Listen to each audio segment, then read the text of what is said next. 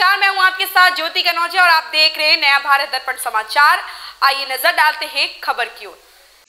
पत्रकार सुरक्षा कानून अवश्य लागू होना चाहिए। इस दिशा में हम सब मिलजुल कर बेहतर प्रयास करेंगे और आने वाले समय में सद्भाव पत्रकार संघ के कार्यालय भवन के लिए विधायक निधि से राशि भी प्रदान की जाएगी। यह बातें रविवार को संभाग मुख्यालय में आयोजित सद्भाव पत्रकार संघ के नववर्ष मिलन एवं प्रादेशिक सम्मेलन में बतौर मुख्य अतिथि उपस्थित शहर विधायक शैलेश पांडे ने कही। रविवार को शहर से लगे मोपका में विकलांग चेतना परिषद के चिकित्सालय भवन सभा कक्ष में सद्भाव पत्रकार संघ का प्रादेशिक सम्मेलन एवं नववर्ष मिलन और सम्मान समारोह का भव्य आयोजन किया गया। इस प्रदेश स्तरीय कार्यक्रम में बिलासपुर संभाग के अलावा सरगुजा संभाग, बस्तर संभाग, रायपुर और दुर्ग संभाग के पत्रकार साथी सैकड़ों की संख्या में एकत्रित हुए और पत्रकारों के हित में काम करने वाले अग्रणी संगठन सद्भाव पत्रकार संघ के कार्यक्रम को सफल बनाने में अपना योगदान दिया।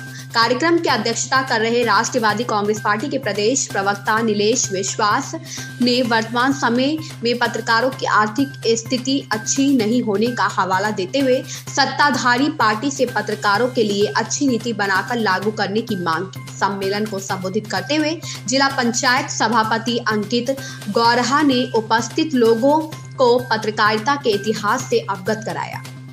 इस खबर में बस इतना ही। बने रहे नया भारत दर्पण समाचार के साथ।